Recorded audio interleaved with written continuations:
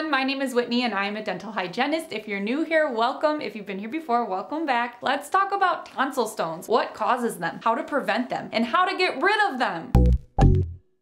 A tonsil stone, also known as a tonsillolith, is a calcified buildup of debris that collects on and around your tonsils. They're made up of minerals, food debris, and oral bacteria. And if you're one of the small percentage of people who gets tonsil stones, you already know how annoying they can be. They can cause serious bad breath, and they can also be super uncomfortable in the back of your throat. Having said that, not all tonsil stones are visible, but when they are, you'll usually notice a little clump of white or yellow or even gray on your tonsil. Whatever the color color, it will generally look like a little circular area or spot on your tonsil. But very similar to an iceberg, what you're seeing is only the tip because the biggest part is typically hidden from plain view. Other symptoms that might indicate that you have tonsil stones may be bad breath, sore throat, trouble swallowing, ear pain, ongoing cough, and swollen tonsils. And there are four things that make you more likely to get tonsil stones. If you've had a history of infections and illness, especially in your throat, like chronic tonsillitis, the more throat infections you experience, the greater the risk of scarring, which raises your chances of getting tonsil stones wedged down around all of that scar tissue. Large tonsils in general. Maybe you weren't sick often or anything like that, but you just anatomically have large sized tonsils. Tonsil stones are more common in anyone who has big tonsils. Chronic sinus issues. Mucus drainage down the back of your throat can irritate your tonsils and lead to bacterial accumulation around the tissues in the back of your mouth. Although tonsils are not inherently inherently part of your nasal sinuses,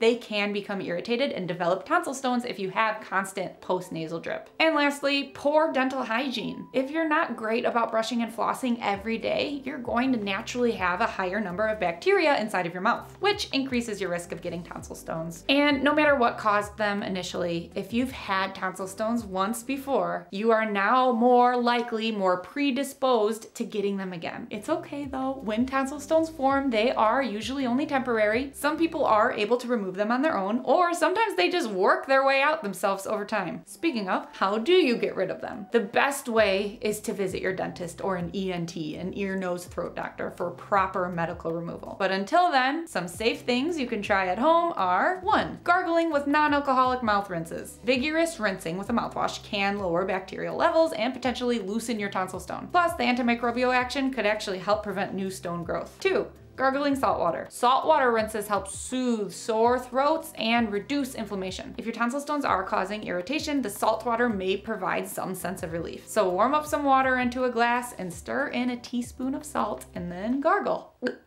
Three, gargle with apple cider vinegar. Some people claim that apple cider vinegar is good for helping to break down the particles that cause tonsil stones. But don't rinse with it straight from the bottle. Instead, dilute one tablespoon into a cup of warm water. And number four, cough. Let me clear. Ah, ah, ah. I know it sounds weird, but coughing ah, ah, Coughing is a natural way to get rid of foreign debris in your throat, like tonsil stones. So if you feel like you can cough the stone loose, then have at it. Just be warned, coughing too hard can make you a little gaggy, so be gentle. You also don't want to cough so much that you burst a blood vessel, right? So only cough gently. A gentle cough is forceful enough to knock out tonsil stones. And that's it on the safe list. I know people in the comments section might be like, hey, you didn't mention using a water flosser or a cotton swab or all those other remedies in DIY tonsil stone removals that I've heard about online. But the reason I'm not mentioning them is because personally, I do not recommend them. Sticking anything in your throat, even a high pressurized water water flosser, if you do it wrong, you have the possibility of seriously injuring yourself or even setting yourself up for an infection in your throat. So don't try to push on your tonsil stones and force them out with any foreign objects. It can totally be a recipe for a throat disaster. Try the safe ones or visit your dentist. And lastly, before we go, let's talk about ways to prevent tonsil stones from coming back. Say you got it out, but now you don't want it to come back. What should you do? Number one, practice good oral hygiene. The less bacteria bacteria you have inside of your mouth, like we said, the lower the chances of getting a tonsil stone. Two, use a tongue scraper. Again, less bacteria in your mouth. Three, stop smoking. Tobacco use can alter the tissues inside of your mouth and raise your risk for tonsil stones. Four, gargling with non-alcoholic mouthwash and gargling with warm salt water. Just like the gargling can get rid of tonsil stones, they can also help prevent them. I personally used to get tonsil stones a lot, and what I do now to prevent them and what's been personally working for me is every night after I brush and floss and do my normal nighttime bedtime routine, I gargle gargle with super warm water. I almost want to say hot, but not hot, just like super warm. I gargle really well and knock on wood, I haven't had any issues since I've been doing that. Preventative is key. In all, Holly,